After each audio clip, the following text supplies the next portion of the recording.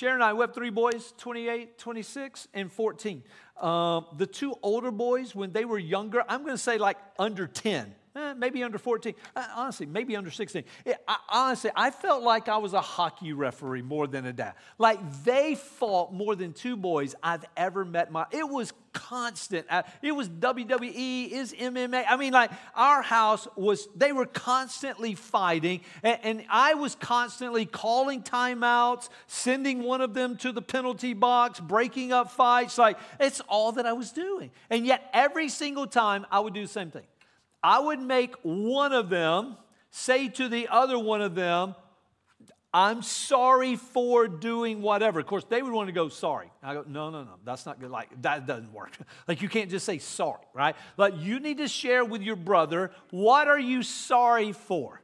And so they would somewhat share. I go, no, no, it's like share the whole thing. And then I'd make the other brother say, okay, I'm going to forgive you for doing whatever, whatever, whatever, right? So I'd always make them do that. And then they'd want to go separate. I go, no, no, no, come here. Hug it out. No, Dad, no. They hated the hug out more than they, I think they actually hated the asking and the receiving of forgiveness. But that is the thought. Like, if not, if, if we don't embrace here, right, then you're going, and I'm still going to start to get angry inside here's we're closing. Uh, There's something about the 70 times 7. I think it might mean something more than what we're even thinking. We forgive someone for our freedom, not necessarily for theirs. If that's the case, you know what? Sometimes someone sinned against you, someone's offended you. You may have to forgive them 70 times, seven times that day.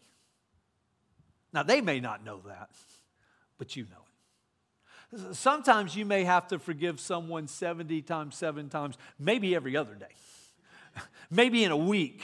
Uh, so, sometimes maybe it then gets to a month. But there's something about forgiveness that is far more for you than it is for them. And again, I understand this. That sitting in this room, some of you the entire time have said this you don't you can't imagine what they did. You don't know what they said. You don't know how they treated me. It, it i and i don't 100% i know a lot of your stories. I don't know them all. So there's yeah no way. But when we look at forgiveness we have to go back. If we're followers of jesus then we have to follow him back to the cross. And the bible says that jesus was like a sheep headed to the slaughter, and he spoke not a word.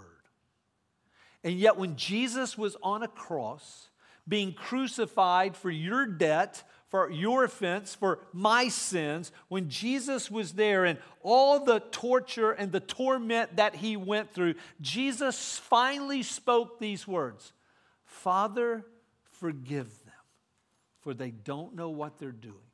I'd never read that till I was like 18 years old. And, and, the first time I'm reading the Bible, right, I, I'm reading that from Matthew, and I'm like, what do you mean they don't know?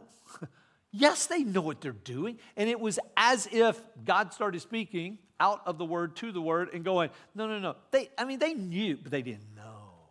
But they didn't know.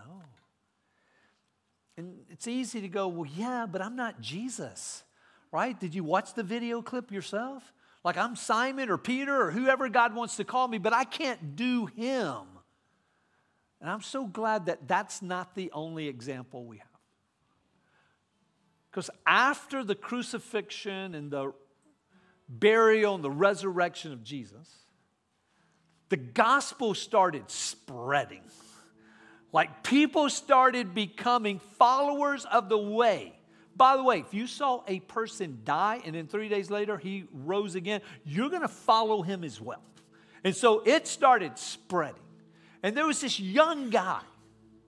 I mean, saw Emmy baptized. Someone maybe even her age. His name's Stephen. He wasn't allowed to teach. he wasn't allowed to preach. He wasn't, only thing he was allowed to do was serve bread to the widows. Basically, he's like the bread boy.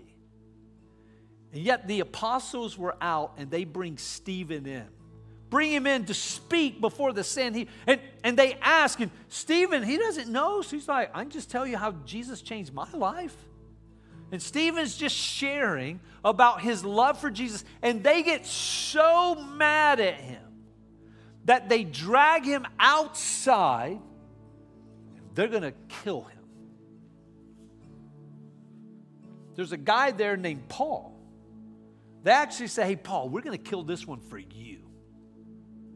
Like we're so, we're going to, st-. they pick up rocks and they start to throw them. Here's what the Bible tells us that when Jesus ascended into heaven, he was seated at the right hand of the Father.